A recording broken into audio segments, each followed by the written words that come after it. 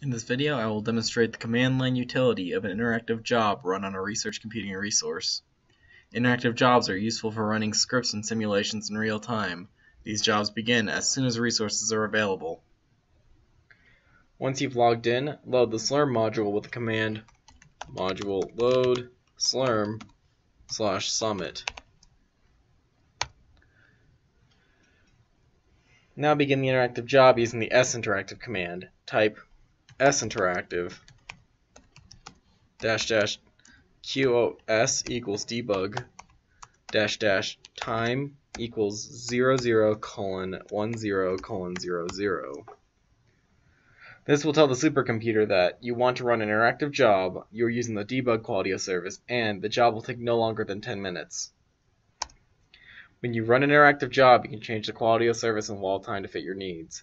You will see a message saying, waiting for job ID with some number to start while the system waits for resources to become available. A login shell using one core on one node will open for 10 minutes.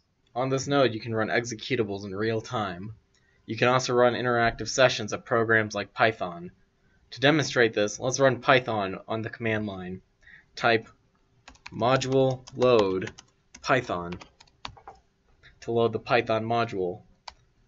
Then type python. You are now interactively running Python on research computing resources.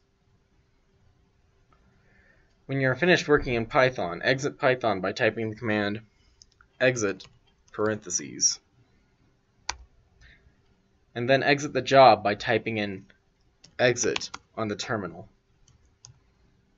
If you do not exit the job when you are finished, the interactive job will continue to run for the full amount of time requested, thus using up part of your allocation.